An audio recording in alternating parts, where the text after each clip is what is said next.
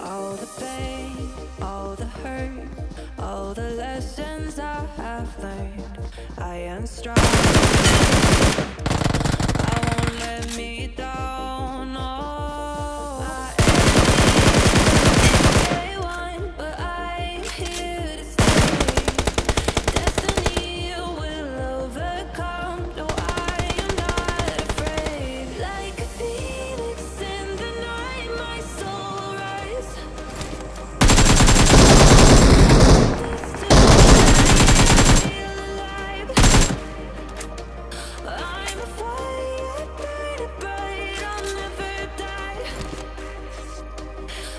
could feel